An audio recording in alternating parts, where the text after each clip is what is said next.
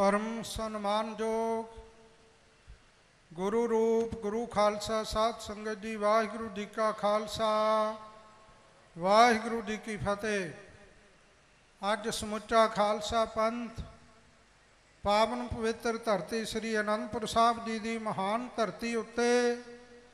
ਸ੍ਰੀ ਅਨੰਦਪੁਰ ਸਾਹਿਬ ਜੀ ਦਾ 350 ਸਾਲਾ ਸਥਾਪਨਾ ਦਿਹਾੜਾ ਪੂਰੇ ਖਾਲਸਾਈ ਜਾਹੋ ਜਲਾਲ ਦੇ ਨਾਲ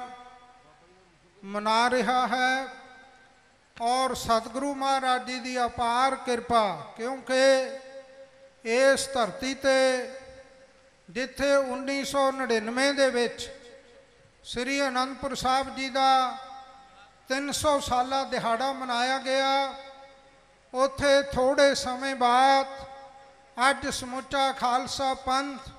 ਸ੍ਰੀ ਅਨੰਦਪੁਰ ਸਾਹਿਬ ਜੀ ਦਾ 350 ਸਾਲਾ ਸਥਾਪਨਾ ਦਿਵਸ ਮਨਾ ਰਿਹਾ ਹੈ।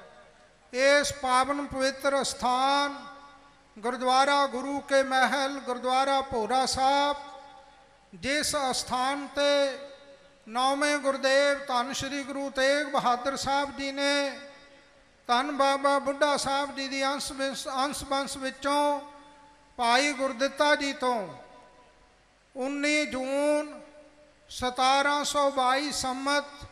ਔਰ 1665 ਈਸਵੀ ਨੂੰ ਆਪ ਸਤਿਗੁਰਾਂ ਨੇ ਸ੍ਰੀ ਅਨੰਦ ਸਾਹਿਬ ਜੀ ਦਾ ਪਾਠ ਕਰਨ ਤੋਂ ਉਪਰੰਤ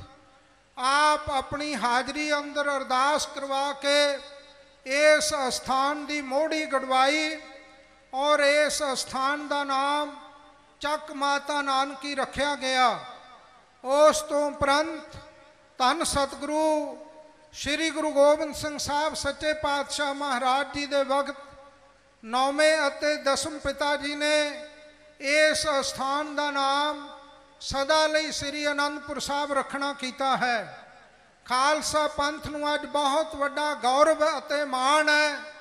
ਕਿ ਕੌਮ ਦੀ ਮਹਾਨ ਸੰਸਥਾ, ਸ਼੍ਰੋਮਣੀ ਗੁਰਦੁਆਰਾ ਪ੍ਰਬੰਧਕ ਕਮੇਟੀ ਔਰ ਸਮੁੱਚਾ ਸੰਤ ਸਮਾਜ ਇਸ ਸਥਾਪਨਾ ਦਿਵਸ ਦੇ ਅੰਦਰ ਹਰ ਤਰ੍ਹਾਂ ਦੀਆਂ ਸੇਵਾਵਾਂ, ਬਹੁਤ ਵੱਡੇ ਲੰਗਰਾਂ ਦੀਆਂ ਸੇਵਾਵਾਂ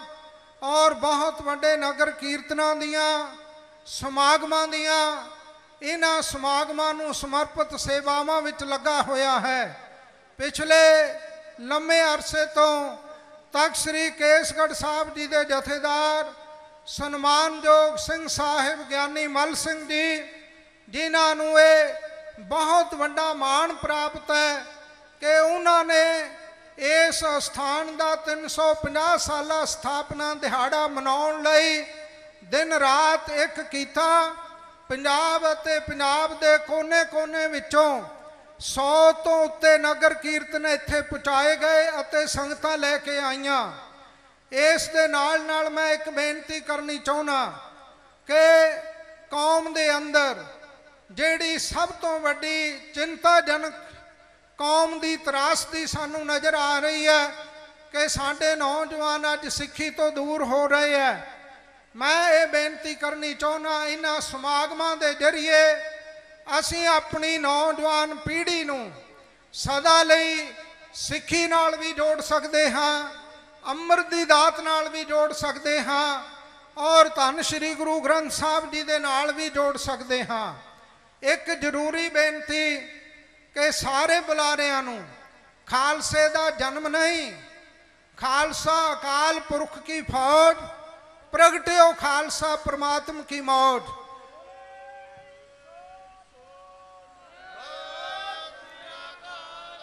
ਜੰਮਣ ਵਾਲਾ ਵਿਅਕਤੀ ਮਰਦਾ ਇੱਕ ਦਿਨ, ਪਰ ਕਲਗੀਧਰ ਨੇ ਇਹ ਖਾਲਸਾ ਇਸ ਧਰਤੀ ਤੇ ਪ੍ਰਗਟ ਕੀਤਾ। ਔਰ ਅੰਮ੍ਰਿਤ ਦੀ ਦਾਤ ਪੰਜ ਬਾਣੀਆਂ ਪੜ੍ਹ ਕੇ ਖੰਡੇ ਬਾਟੇ ਦੇ ਅੰਮ੍ਰਿਤ ਦੀ ਦਾਤ ਨਾਲ ਖਾਲਸੇ ਨੂੰ ਤਖਤ ਸ੍ਰੀ ਕੇਸਗੜ੍ਹ ਸਾਹਿਬ ਜੀ ਦੀ ਧਰਤੀ ਤੇ ਸਾਜਣਾ ਕਰਕੇ ਖਾਲਸੇ ਨੂੰ ਇਸ ਧਰਤੀ ਤੇ ਹਮੇਸ਼ਾ ਲਈ ਪ੍ਰਗਟ ਕੀਤਾ। ਇਸ ਲਈ ਕੌਮ ਦਾ ਇਹ ਪ੍ਰਗਟ ਦਿਵਸ ਵੀ ਉਹਨਾਂ ਦਿਹਾੜਿਆਂ ਨੂੰ ਨਾਲ ਨਾਲ ਸਮਰਪਿਤ ਮਨਾਇਆ ਜਾ ਰਿਹਾ। ਅੱਜ ਇਸ ਲਈ ਮੈਂ ਸ਼੍ਰੋਮਣੀ ਗੁਰਦੁਆਰਾ ਪ੍ਰਬੰਧਕ ਕਮੇਟੀ ਦੇ ਪ੍ਰਧਾਨ ਜਥੇਦਾਰ ਸਰਦਾਰ ਅਵਤਾਰ ਸਿੰਘ ਜੀ ਔਰ ਸ੍ਰੀ ਅਕਾਲ ਤਖਤ ਸਾਹਿਬ ਜੀ ਦੇ ਜਥੇਦਾਰ ਸਿੰਘ ਸਾਹਿਬ ਗਿਆਨੀ ਗੁਰਬਚਨ ਸਿੰਘ ਜੀ, ਸਿੰਘ ਸਾਹਿਬ ਗਿਆਨੀ ਇਕਬਾਲ ਸਿੰਘ ਜੀ, ਜਥੇਦਾਰ ਤਖਤ ਸ੍ਰੀ ਪਟਨਾ ਸਾਹਿਬ, ਜੋ ਕਿ 1600 ਪਾਪ 16 ਅਤੇ 17 ਦੇ ਵਿੱਚ 2016 ਅਤੇ 17 ਵਿੱਚ ਤਖਤ ਸ੍ਰੀ ਪਟਨਾ ਸਾਹਿਬ ਜੀ ਦਾ ਵੀ ਉੱਥੇ 350 ਸਾਲਾ ਦਿਹਾੜਾ ਉਸ ਧਰਤੀ ਤੇ ਵੀ ਮਨਾਇਆ ਜਾ ਰਿਹਾ। ਇਸ ਕਰਕੇ ਇਹ ਬਹੁਤ ਵੱਡੇ ਕਾਰਜ ਕੌਮ ਲਈ ਕੀਤੇ ਜਾ ਰਹੇ ਹੈ। ਸਨਮਾਨਯੋਗ ਸਿੰਘ ਸਾਹਿਬ ਗਿਆਨੀ ਮਲ ਸਿੰਘ ਜੀ ਔਰ ਇਸ ਦੇ ਨਾਲ ਨਾਲ ਜੋ ਸਭ ਤੋਂ ਵੱਡਾ ਮੈਂ ਸਮਝਦਾ ਵਿਸ਼ੇਸ਼ ਉਪਰਾਲਾ ਕੀਤਾ ਗਿਆ ਕਿ ਧੰਨ ਸ੍ਰੀ ਗੁਰੂ ਹਰਗੋਬਿੰਦ ਸਾਹਿਬ ਧੰਨ ਸ੍ਰੀ ਗੁਰੂ ਤੇਗ ਬਹਾਦਰ ਸਾਹਿਬ, ਧੰਨ ਸ੍ਰੀ ਗੁਰੂ ਗੋਬਿੰਦ ਸਿੰਘ ਸਾਹਿਬ ਮਹਾਰਾਜ ਜੀ ਦੇ ਇਤਿਹਾਸਕ ਦਰਸ਼ਨਾਂ ਦੇ, ਇਤਿਹਾਸਕ ਸ਼ਸਤਰਾਂ ਦੇ ਦਰਸ਼ਨ। ਸਤਿਗੁਰਾਂ ਦੀ ਬਾਣੀ ਦਾ ਫਰਮਾਨ ਹੈ ਆਸ ਕਿਰਪਾਨ ਖੰਡੋ ਖੜਕ ਤੁਬ ਤਬਰਾਰ ਤੀਰ, ਸਹਿਬ ਸਰੋਹੀ ਸਹਿਤੀ ਜਹ ਹਮਾਰੇ ਪੀਰ। ਉਹਨਾਂ ਪਾਵਨ ਪਵਿੱਤਰ ਸ਼ਸਤਰਾਂ ਦੇ ਦਰਸ਼ਨ ਔਰ ਸਤਿਗੁਰਾਂ ਦੀ ਹੱਥ ਲਿਖਤ ਪੋਥੀ ਦੇ ਦਰਸ਼ਨ ਪੰਜਾਬ ਦੇ ਕੋਨੇ-ਕੋਨੇ ਵਿੱਚ ਕਰਵਾਉਣ ਲਈ, ਜਿੱਥੇ ਸ਼੍ਰੋਮਣੀ ਗੁਰਦੁਆਰਾ ਪ੍ਰਬੰਧਕ ਕਮੇਟੀ ਨੇ ਬਹੁਤ ਵੱਡਾ ਯੋਗਦਾਨ ਪਾਇਆ, ਉੱਥੇ ਪੰਜਾਬ ਸਰਕਾਰ ਦੇ ਮੁੱਖ ਮੰਤਰੀ ਸਰਦਾਰ ਪ੍ਰਕਾਸ਼ ਸਿੰਘ ਜੀ ਬਾਦਲ, ਉਹਨਾਂ ਨੇ ਵੀ ਬਹੁਤ ਵੱਡਾ ਆਪਣਾ ਯੋਗਦਾਨ ਪਾਇਆ। ਔਰ ਇਹ ਸ਼ਸਤਰ ਦਰਸ਼ਨ ਯਾਤਰਾ ਦਾ ਸਾਰੀਆਂ ਸੰਗਤਾਂ ਨੇ ਇਤਨਾ ਵੱਡਾ ਨਿਗ ਮਾਣਿਆ ਕਿ ਪੰਜਾਬ ਦੇ ਕੋਨੇ-ਕੋਨੇ ਵਿੱਚੋਂ ਸੰਗਤਾਂ ਨੇ ਹਰ ਘਰ ਵਿੱਚੋਂ ਉੱਠ ਕੇ ਸਤਿਗੁਰਾਂ ਦੀਆਂ ਬਖਸ਼ਿਸ਼ਾਂ ਅੱਗੇ ਨਤਮਸਤਕ ਹੋਣਾ ਕੀਤਾ। ਇਹਨਾਂ ਪਾਵਨ ਬਖਸ਼ਿਸ਼ਾਂ ਤੋਂ ਅਸੀਂ ਇੱਕ ਪ੍ਰੇਰਣਾ ਲੈਣੀ ਹੈ ਕਿ ਖਾਲਸੇ ਨੇ ਬਾਣੀ ਔਰ ਬਾਣੇ ਦੇ ਧਾਰਨੀ ਬਣਨਾ। ਪੰਜਾਬ ਦੀ ਧਰਤੀ ਤੋਂ ਅਸੀਂ ਨਸ਼ਿਆਂ ਦਾ ਸਫਾਇਆ ਕਰਨ ਲਈ, ਪਤਤ ਪੁਣੇ ਨੂੰ ਠੱਲ ਪਾਉਣ ਲਈ ਅਤੇ ਦੇਹਧਾਰੀ ਗੁਰੂ ਡੰਮ ਨੂੰ ਜੋ ਅੱਜ ਘੁਣ ਦੀ ਤਰ੍ਹਾਂ ਕੌਮ ਨੂੰ ਲੱਗਾ ਹੋਇਆ ਦੇਹਧਾਰੀ ਗੁਰੂ ਡੰਮ ਦੀਆਂ ਦੁਕਾਨਾਂ ਬੰਦ ਕਰਾਉਣ ਲਈ ਸਮੁੱਚੇ ਖਾਲਸਾ ਪੰਥ ਨੇ ਇਸ ਲਈ ਗੰਭੀਰ ਹੋਣ ਦੇ ਯਤਨ ਕਰਨੇ ਆ।